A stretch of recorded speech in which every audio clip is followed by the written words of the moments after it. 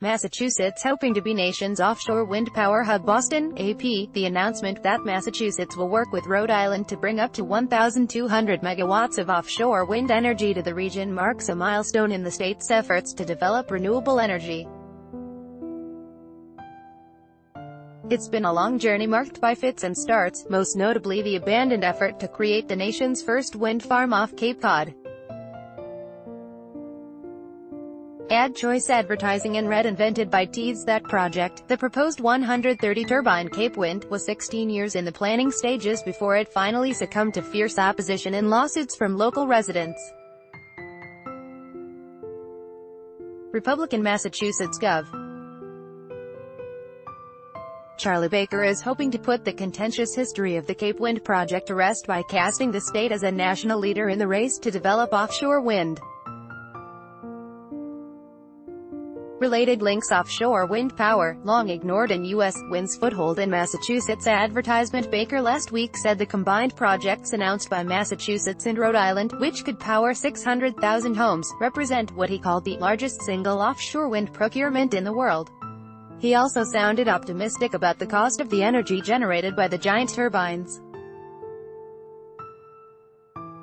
People are going to be really surprised, I think, because the argument has always been, well, renewable and clean energy sources are great but they're more expensive. I think people are going to be really surprised by what they see here. Baker said during his monthly Ask the Governor program on WGBH-FM. We're going to be able to significantly reduce our carbon footprint and at the same time give homeowners and businesses in Massachusetts terrific pricing, he added. The 1,200 megawatts is comprised of two separate projects, both to be located in federal waters south of Martha's Vineyard. The Massachusetts project, Vineyard Wind, is expected to generate 800 megawatts of energy. That's about 5.5 to 6% of the state's total annual electric load. Vineyard Wind has said it hopes to begin delivering renewable energy to Massachusetts residents and businesses in 2021, although the final acceptance of the bid and award of the contract is conditional on successful contract negotiations. Advertisement developers said the project will consist of an array of wind turbines, spaced at least 8 tenths of a mile apart, that are each capable of generating over 8 megawatts of power. The Rhode Island project, called Revolution Wind by developer Deepwater Wind, is expected to create more than 800 jobs and result in $250 million in investments in Rhode Island, the developer said this week. The project should include up to 50 turbines generating about 400 megawatts. Deepwater Wind CEO Jeff Grybowski said this week that he couldn't predict what the exact price of the energy will be, but said it will be competitive with other sources. Democratic Rhode Island Governor Gina Raimondo called the project about as big as it gets.